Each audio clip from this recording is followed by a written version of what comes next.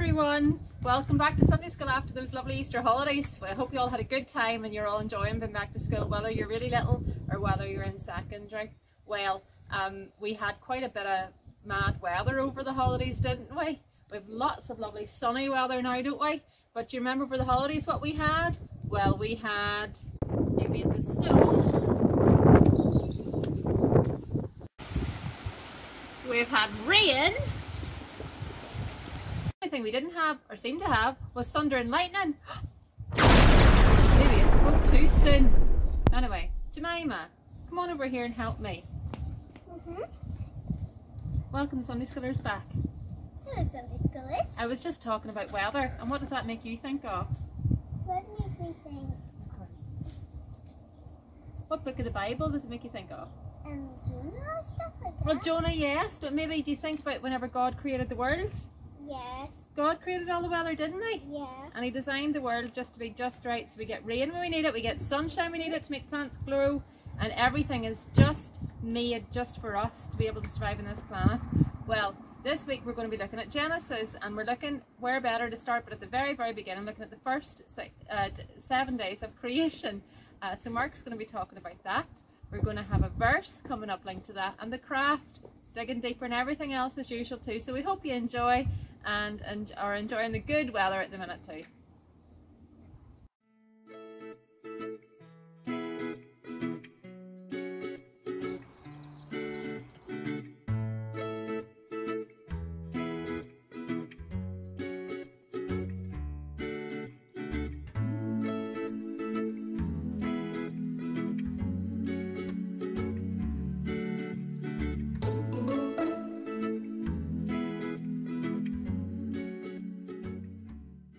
Hello Sunday Schoolers and welcome back. I hope you all have enjoyed your Easter holidays and everyone is back to school and really enjoying your time.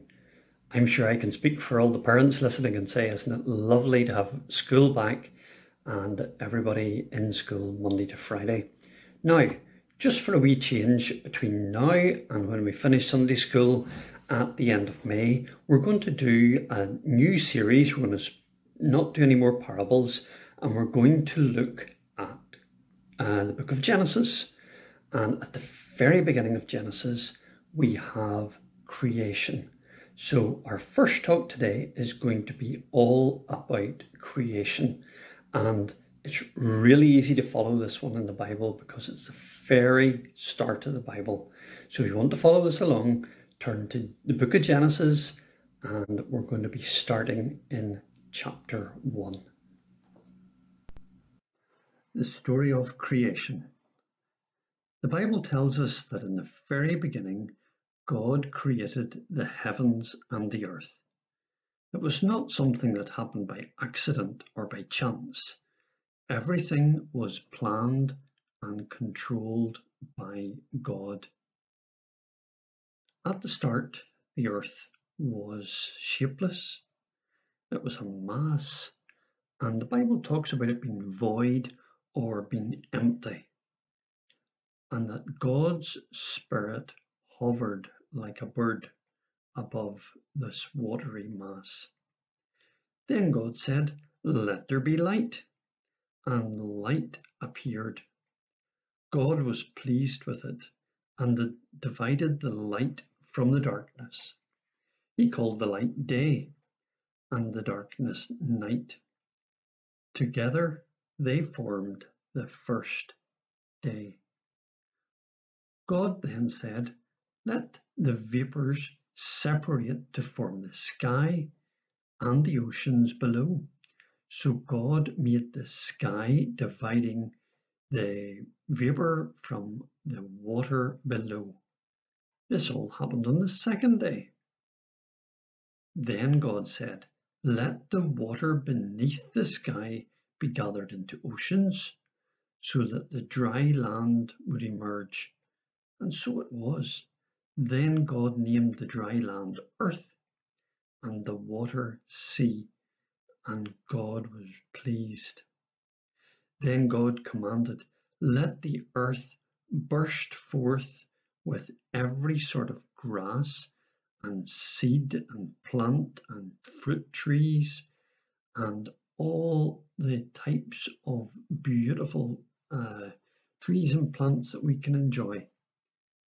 And the fruits had seeds inside them which would produce all kinds of fruit.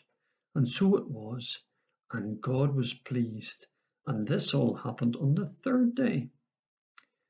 Then God said, Let bright lights appear in the sky to give light and make the day and the night. Then they will bring seasons, and that will give us our days and our weeks and our months and our years.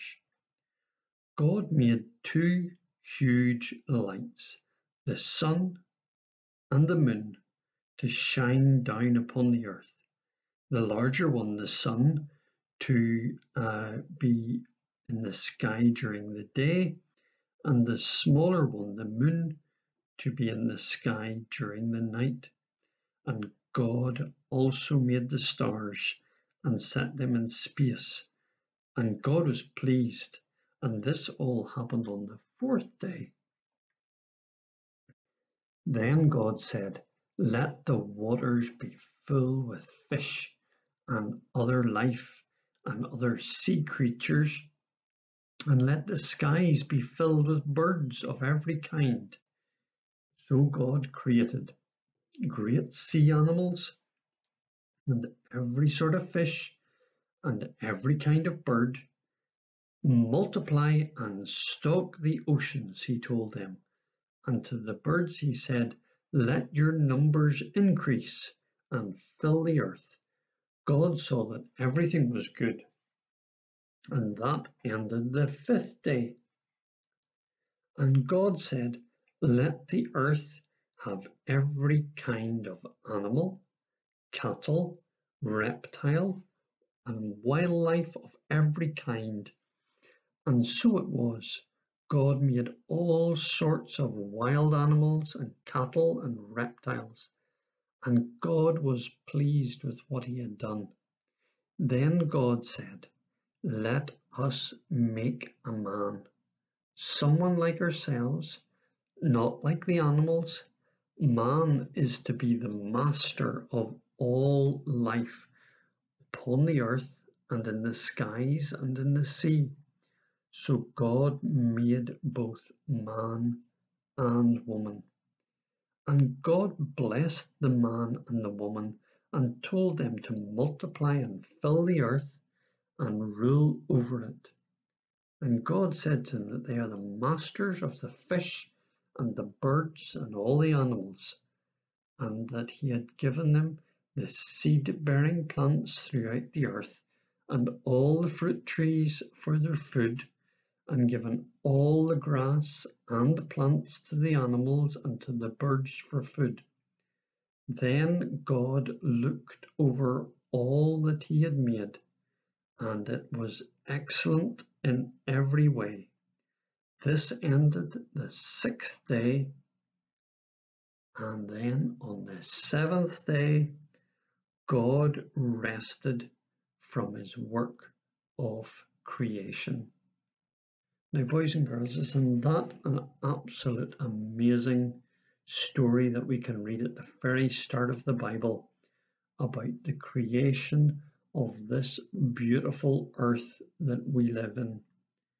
I know as uh, we look out at times we can see the bad weather and then we can see all the wind and the rain and the snow and the hail and everything that we have had to uh, look at over the past couple of weeks. And now we can enjoy the beautiful sunshine in the sky. But we have to realize that it has all come from God's hand. Sometimes in school, especially some of the older ones, they'll say that this all happened just with a big bang and there was out of nothing this earth was produced and animals evolved from little lumps of bugs in water and men evolved from monkeys and all this kind of thing because You see, boys and girls, a lot of time people do not want to recognize that God is in control. And they want to be in control, so they don't want to ever say that God had a plan for this world.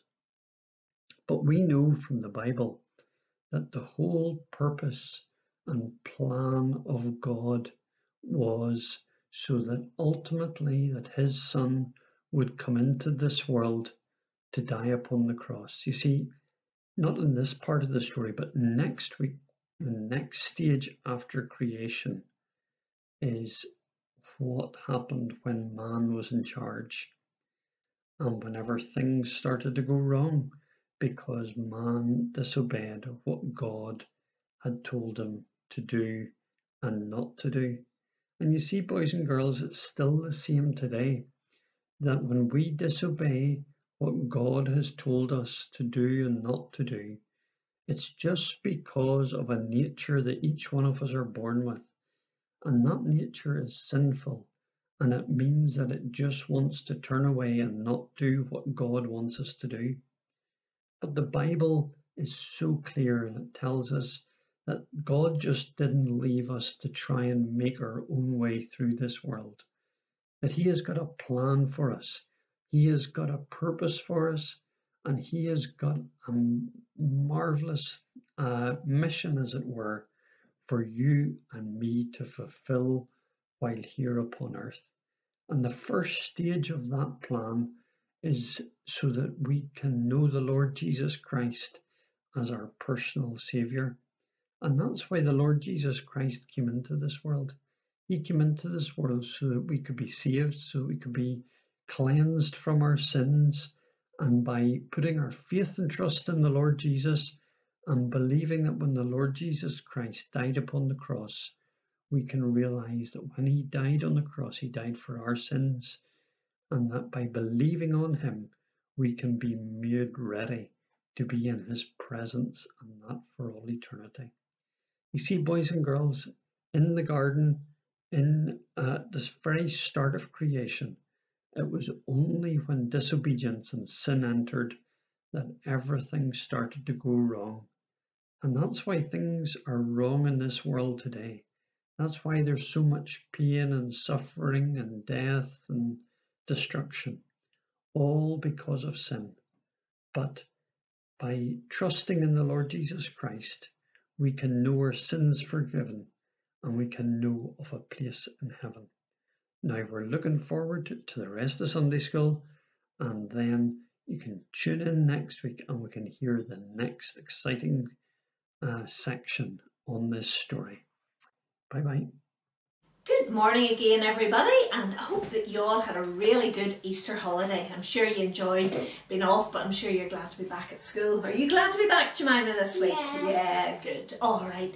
So, the talk today, as you've just heard, was about beginnings, and that's found in the book of Genesis because that's the very first book in the Bible, Jemima. So, Jemima and I today are just going to learn the very first verse in the Bible. And mm-hmm. where's it found, Jemima? In Genesis chapter 1, verse 1. That's right. So you read it. It's a nice wee simple one. We thought we'd start off easy this this time. All right, Jemima, you read it out. In the beginning, God created the heavens and the earth. Good. That's it. Isn't that really easy this week? So there should be no problem in everybody learning it. All right, Jemima, will we say it again? In the beginning, God created the heavens and the earth. Genesis chapter 1, verse 1. Okay, one more time. In the beginning, God created the heavens and the earth. Genesis chapter 1, verse 1. Okay, so see how you all get on with that. And don't forget to post your videos and let's see that you've learned the very first book in the Bible. Alright, we'll say cheerio and we'll see you again next time. Bye bye for now. Bye.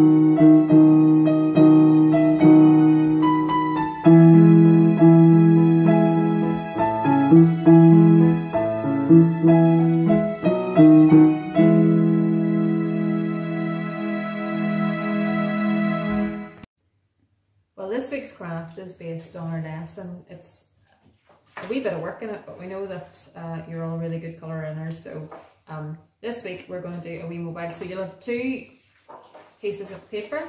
You'll have a God created and the numbers. So these numbers represent the days and what was created and what. First day was the light and dark. Fifth day, seas and the birds of the air and all that was in the seas.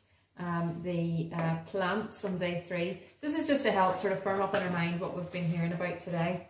Um, so Jemima has coloured in this bit for me. We've coloured in this bit, the God created bit, and cut it out. You'll find on the God created that we've punched out holes already. It's coloured in nice and colourful. I'm going to show you Jemima's in a minute, in a wee minute. And then colour, you untime it, it's got a wee bit twisty. Um, and then you colour in these bits. Now there is quite a bit of cutting to do, so it is a bit of a long craft, but um, and with the good weather, uh, maybe you're more uh, keen to be outside. But sure, give it a shot. You don't have to do it all at the one go. And we know that you've got homework. You can do it outside in the sunshine. It's a good idea, Jemima. Now, uh, in the midst of God's creation. So, Jemima, this is this was hanging fine about five minutes ago. So there we go. Um, there is wool in your uh, craft box, so you are in your craft bag. So if you just cut out lengths of wool, hopefully everybody will have enough. But don't be afraid. You can use wool at home as well. The color different colors be lovely. Mhm. You can even put wee beads on it and you put a bit of wool at the top. So there's your, your hanger to remind us of the seven days of creation. The annoying thing is that the numbers turn around a wee bit, so you might have to fix that a bit. But, but that's lovely and bright and colourful. Enjoy making and we look forward to seeing you. We also look forward to hearing your verses with Sharon. Thanks very much. Bye.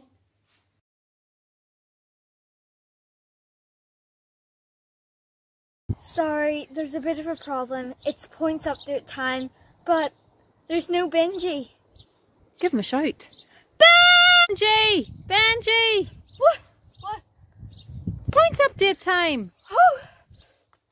Better get my ninja on.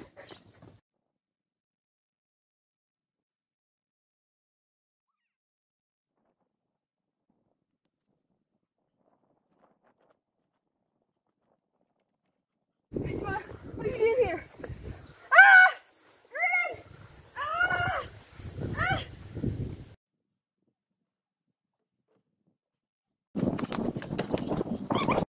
Alright, give me a second. I'll be there in a minute. Just, alright, I'm running.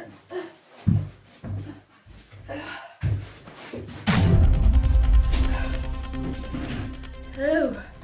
Oh, well, sorry. Hello and welcome to the Sunday School Points Update. And on one point, there's loads of people on one point.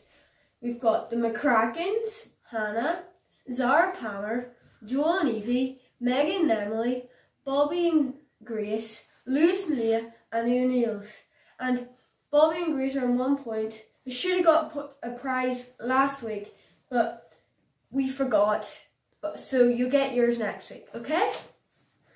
And on two points we have Thomas, Sam and Isabel, and Aaron and Phoebe. And on three points we have one. Oh, we'll have to get someone next time for three points. This has been Sunday School Points Update. Thank you and goodbye. I need a drink here. Hello and welcome back again to Digging Deeper. I hope you enjoyed your break and that you've settled back into school again this week. Today's topic is Whoa Mind Blown. The key verses are found in 2 Peter chapter 1 verse 16 and verse 18 and they say We were eyewitnesses of his majesty. We ourselves heard this very voice borne from heaven for we were with him on the holy mountain. Have you ever seen something that really blew your mind that was beyond your expectations. We just have to look out at God's marvellous creation to see his hand and his creativity in everything that, that was made. One such example is Niagara Falls. Whenever you see it for the first time, it is a mind-blowing sight. The vast volume of water pounding relentlessly to the ground. We just see God's wonderful, wonderful creation and his almighty power. One day the Lord Jesus took Peter, James and John up a mountain. It seemed such an unspectacular trip. Luke's Gospel tells us that Peter and the other disciples fell asleep when they got to the top. When Peter woke up, he quickly realised that he was missing something extraordinary. There was Jesus, standing with his two feet on earth, but shining with the glory of the eternal kingdom to which he belonged. Peter's mind was blown, to the extent that he didn't really know how to react.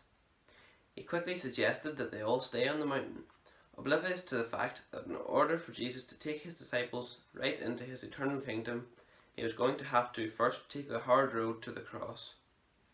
It was only when Peter saw his Lord risen from the dead that he began to understand the true majesty of that experience on the mountain when he saw Jesus transfigured. He realised that Jesus is uniquely qualified to bring us into his eternal kingdom because he beat death and is now back in that kingdom as a risen, glorified man. There's a few passages that you can read, and it's 2 Peter chapter 1, verse 16 to 18, and Luke chapter 9, verse 28 to 36. And as you read these passages, just let the majesty of the Transfiguration soak into your mind. You think you can think about what it would have been like to be there, and even attempt to draw a picture of what had happened. As you consider that day when Peter got a glimpse into the eternal kingdom, remind yourself that Jesus is there right now and that those who acknowledge him as their king will one day join him there. This is what motivated Peter to press on to get to know God better, to serve, serve him more and to grow in godliness. Ask God that you will be motivated in a similar way as you consider Jesus' majesty. Thank you again for listening. Father, we just thank you for this another week of Sunday school, Father, and we just we thank you for this ability that we have, Father, to have our Sunday school online, Father, even though we can't meet together in person, Father, we just we thank you that we can still sound out the gospel message, Father, among the children. Father, we just we pray for all the children, Father, that they were back to school this week. We pray that you would have been with them, Father, and help them to settle in, Father, and as they go into a new week, we just pray that they would know your blessing with them, Father, and that they'd be able to settle in with their friends again. Um, Father, we just we pray now for that some little boy or little girl, or even mum or dad, Father, who's listening to, who listened to Sunday school today, Father. Just pray that they would have learnt of your majesty and your ability, Father, to see you, Father. You sent your Son to die on the cross for us, and he rose again the third day, as we've just celebrated at Easter, Father. And Father, it's through that that we can be saved and that we can be in heaven with you. We just pray, Father, that somebody listening today would realize that, Father, and that they would take it to their hearts, Father, and just pray that they would come to know you. And just leave all things with you now, Father, in this new week. In Jesus' precious name. Amen.